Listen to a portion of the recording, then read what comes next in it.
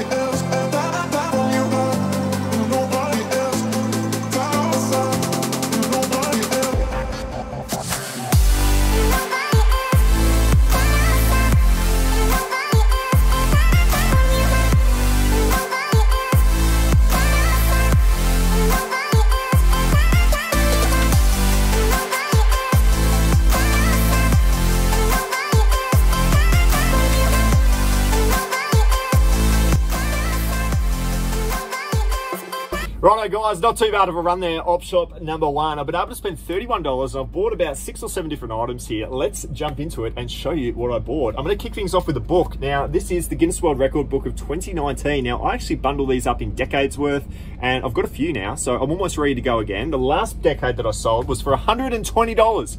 So there's a lot of money to be made in the Guinness Book of World Records. Uh, that was $2, so I'm only just gonna keep adding it to the pile. Um, Archer, the TV show. I've got three seasons worth here. Not a complete series by any means, but it's just, again, going towards the collection. I paid $2 each, so I have paid $6, but the seasons always go on to sell a little bit better. I've got season one at home, so now I've got four. I might keep going because I know there's a few to collect, but again, just bundling for the collections. That's how I like to sell my DVDs. Uh, cool pair of shoes here, guys. Found a pair of Adidas men's shoes, US size 9. These are a really cool pair of shoes. Uh, look, there are no comps for these shoes on eBay, I will tell you right now, but I really do think that I'll be able to go on to sell it for about 50 bucks. That's generally how I like to sell my shoes, uh, and from the past experience, I think that that won't be a problem. Um, I've also found these as well. How cool are they?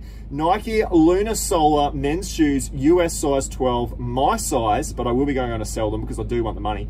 And uh, they are in pretty good condition. There's still a bit of wear left in these soles, so I was really happy to grab these. Both of the shoes I've paid 10 bucks. Both of the shoes I'm going to try and go on to sell for 50 bucks each. So maybe $100 worth of shoes there, which is quite good. Um, and then I've also found the Levi Strauss brand. Now you can always rely on the Levi Strauss brand. These are a size 42 waist, 34 length, and I'm pretty happy about it because I've only paid five bucks. A slightly larger individual will probably enjoy those that I've grabbed out of the thrift. So that's everything, guys. $31 spent, number of items there to start the day, which I'm pretty happy about. A good amount of profit there, no doubt, when it all comes to sell. Let's keep charging. Op shot number two, fingers crossed it can be just as good.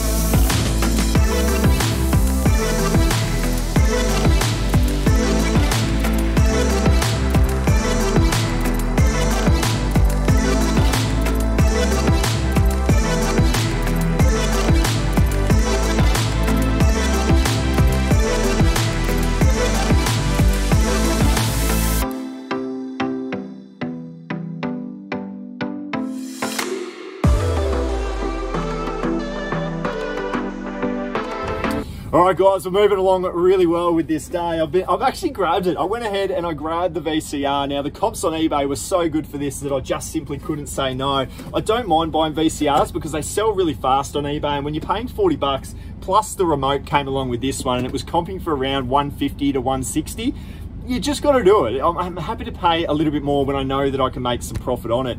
Um, so I grabbed the VCR. It it just sells. Um, I've also grabbed these Nike women's running shoes. These are a US size 8. I've only paid $5 for them. So it's going to be, again, a similar situation of trying to sell these for about $45 free postage. I'm selling my shoes pretty regularly for 50 bucks, like I mentioned in the first run, but I think these ones are a bit more of an entry level shoe. So I'm probably just gonna go 45 to get them sold. And then I also found these as well, guys. Rollerblades for me on Facebook Marketplace. It's just knowing your area. For me on Facebook Marketplace, these things sell. So I always pick them up. Now these are actually a women's, uh, look, they're Nike, which I've never seen before in a pair of roller skates or rollerblades, whatever you guys call them, I don't know. Um, but I found them for $15 and I've also found these for $15. These are the hyper extensions and I've got the adjustable strap. So it goes from a size six to a size nine. That helps the resale value just because you've got a few more people to play with. Um, so I bought both of those for 15 each and I do think they'll both sell for 50 each. So we're talking about a 70 buck worth of profit there and I'm putting it onto Facebook Marketplace. No fees on Facebook Marketplace. Now, when you have a look at this one, you know there's going to be some money made. I found the Harley Davidson zip up jumper. I always look for Harley Davidson. If you can find anything in the range, um, jumpers, um, literally anything, um, this one will go on to sell. I'm going to try and go $39.99 free postage for that one. And I've paid $10 for it. So I did pay a little bit for it, but I think I can make about a $20 profit. So it was worth my while. And uh, I think that was it, guys. There were the four items in there. So 30 bucks on the rollerblades, the $10 jumper, the $5 shoes, the $40 VCR. Don't be afraid to spend a little bit of money if you know you can make a profit. Um, that's it. Option number three. Let's do it.